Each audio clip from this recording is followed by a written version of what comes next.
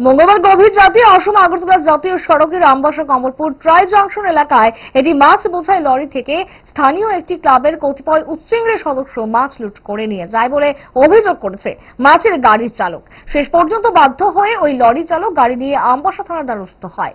লরির চালক জানায়, সে শহর থেকে রানীর বাজারের উদ্দেশ্যে যাচ্ছিল।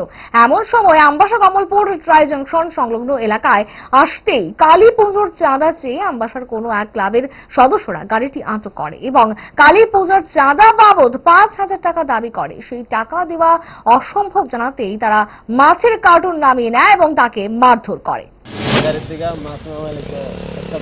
প্রথম সেখানের কারণ আগে দেখছে দেখছে পাঙ্গাস তো একশো বিশ টাকা কেজির মাছ খাইতাম না। তো আমি মাছ কেমন আয়া সামনে কারণটা দেখছে দেখছে সেটা ফাবদা ফাবদা দেওয়া মানে? তুই কইতাছে ইয়ে করো। এটা বাং, এটা উড়া। আমি কিছু এটা তো লাস্টের ভিডিও এটা কেমনে উড়ামু? আমি জানি না, তোর কিছু উড়াই তুই উড়া। এটা উড়াইয়া ফাবদা জিনিসের একটা বেটিটা লয়ে গেছে কুদু বাদা বাদা মারতে হয় কুদু বাদা বাদা মারতে হয় গাড়ি ভাঙতে হয়। কয় পেটি লইছে? এক কার্টন এক কার্টন এক কার্টন থানার জানাইছো নি? থানার জানাইছি। কি কইছে? থানার জানাইছি থানার কইছে মানে মালিকে যা করে দুটা সিদ্ধান্ত নেয় এটা হইব। আমার গাড়িতে প্রচুর টাকার মাল আছে। এটি তো আর কাজে লাগবে না সব নষ্ট হয়ে গেছে।